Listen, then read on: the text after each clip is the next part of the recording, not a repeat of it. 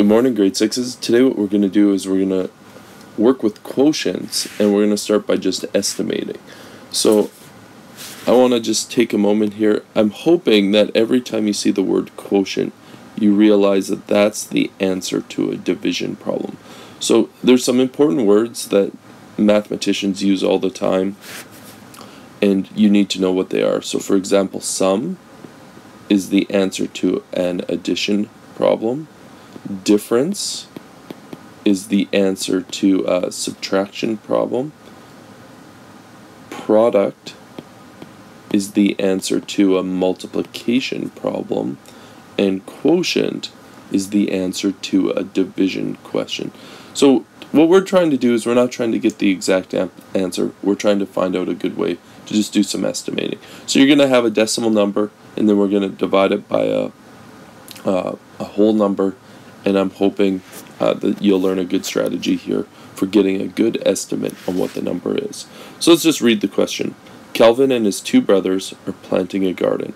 Calvin wants to divide 8.6 kilograms of soil into three pails. About how much soil should Calvin put into each bag? So we're taking 8.6 and we're dividing it into three.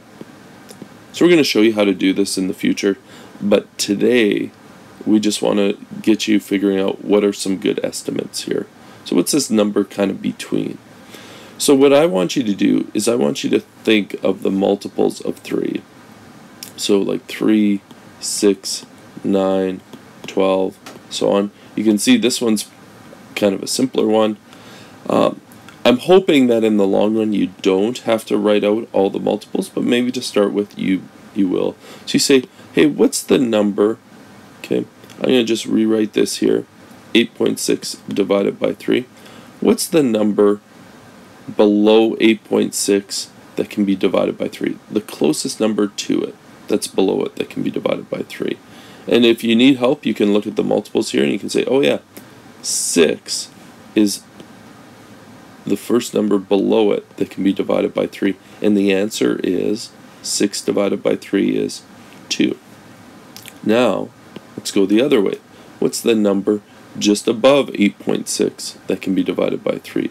And you can go to your multiples again. Oh yeah, that's 9.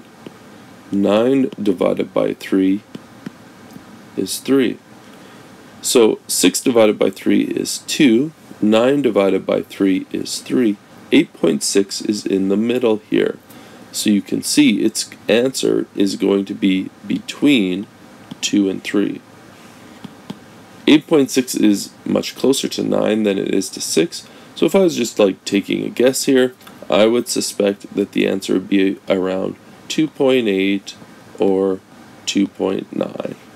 So you can see this is a great way to give me an estimate on what the answer is.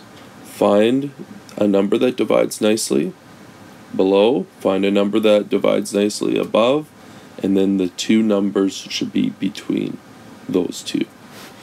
So I hope that's enough to get you going. Uh, you can see he's going to plant about 2.9 kilograms, or he's going to put 2.9 kilograms of soil in each pail. Have a great one, grade 9s, or grade 6s. Take care.